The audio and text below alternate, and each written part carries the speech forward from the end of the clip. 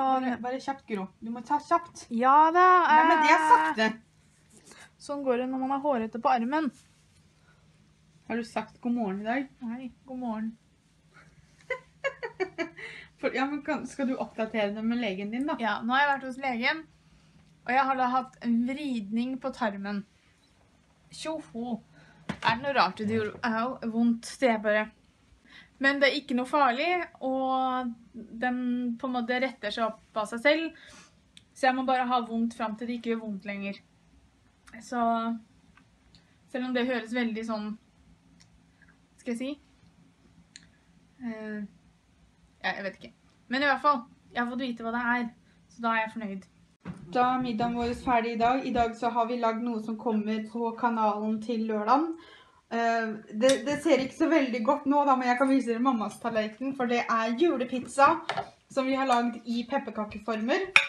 Så det her kommer til å bli veldig kult. Eller hva, Guro? Ja. Men nå var du sånn demonøyne. Ja. Guro har tatt hjertet, da. Åh. Cute. Kjedeligste med å være på tur er å vaske klær. Så nå har vi tatt vaska og får hengt opp en hel haug med klær igjen. Vi skal lage kakao sånn på kveldinga, så vi skal prøve den her som vi kjøpte i London.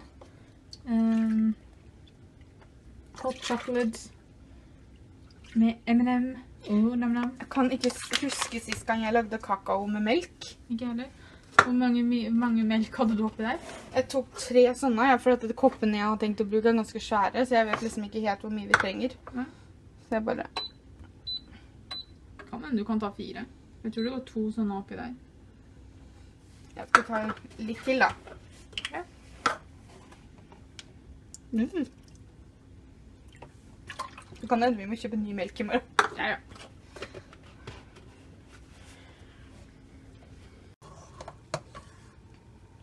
Jeg tar ikke og så lar melka på en måte Sånn, ja. Du søler bare litt da, eller? Ja.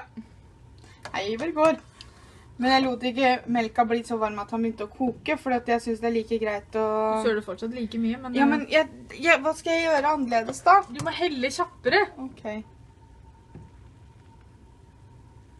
Jeg skylder på Øsa. jeg. Gjør det. Jeg skylder på hun som ikke kan bruke øse. That's you. Det er en grunn til at Guro tar seg av matlagingsvideoene, sier jeg bare. Fordi du ikke kan øse. Nei, fordi jeg søler. Akkurat som jeg ikke søler. Lord, show me.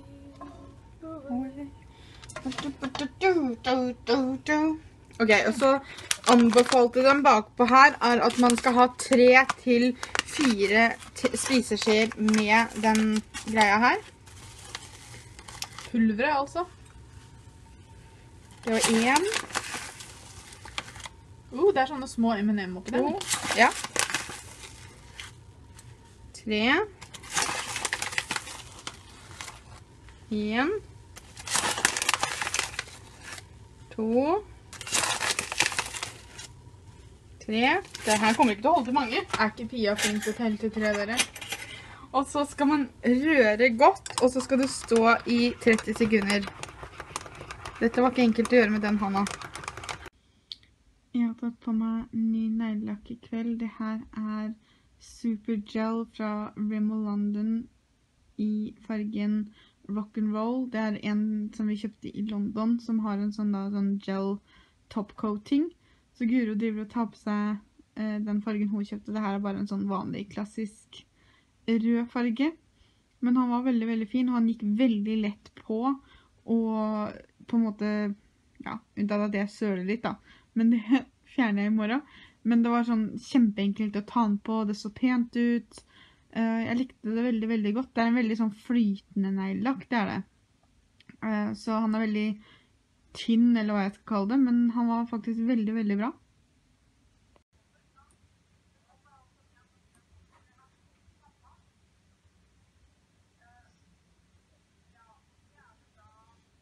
Grå. Mm. Hvis du ser på fargen du har tatt på da. da.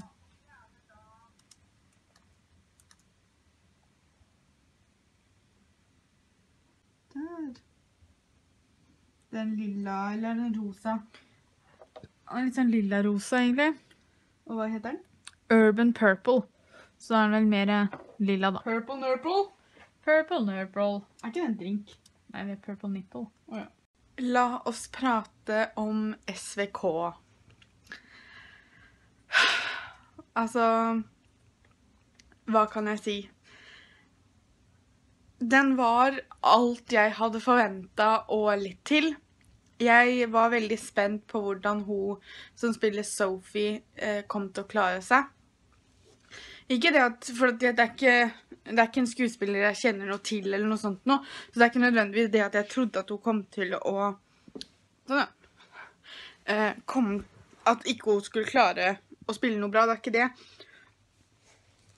Men på grunn av at jeg ikke har sett henne i noe annet Jeg vet ikke om hun har spilt i noe annet heller, for den saks skyld. Så var det liksom sånn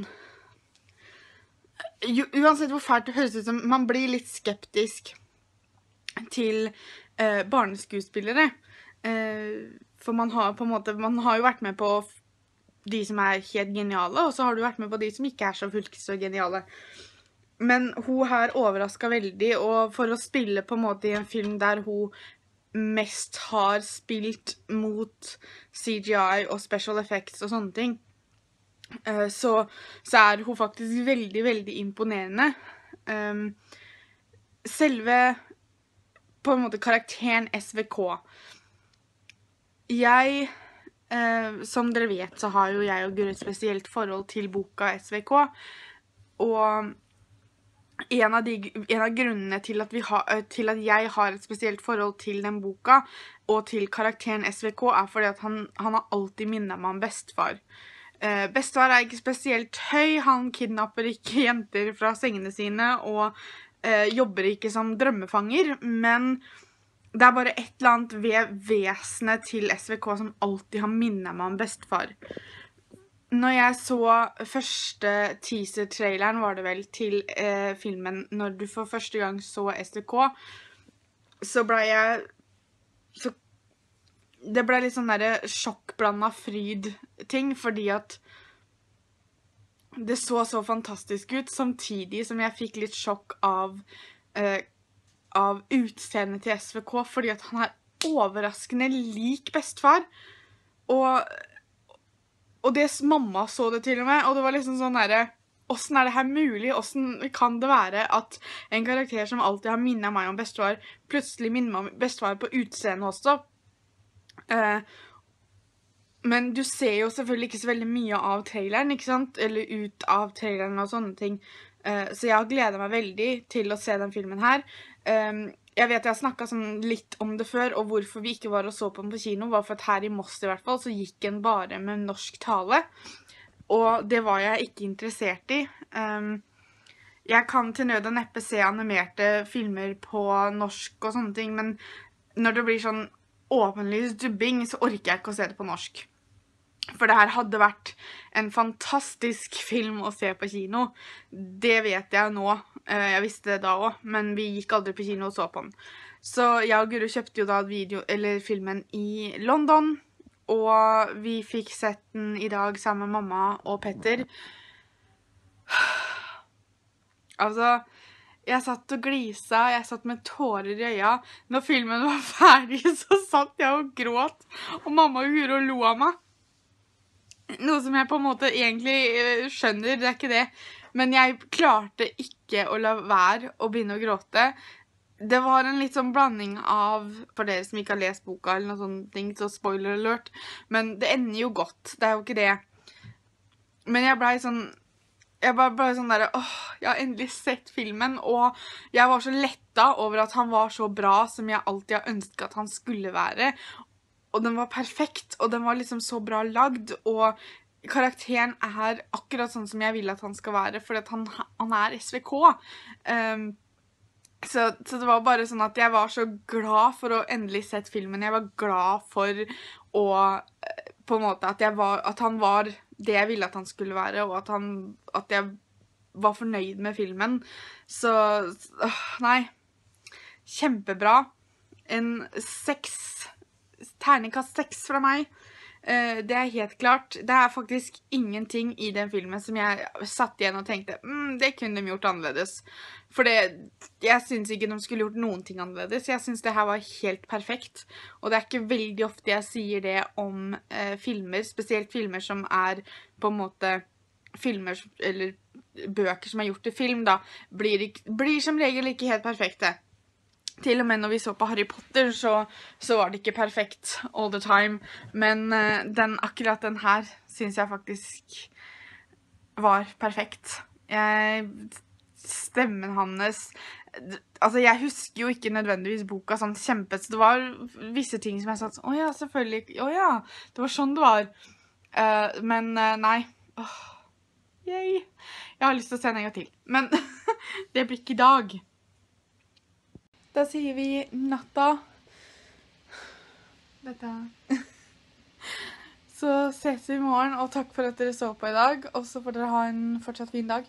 Natta. Mwah!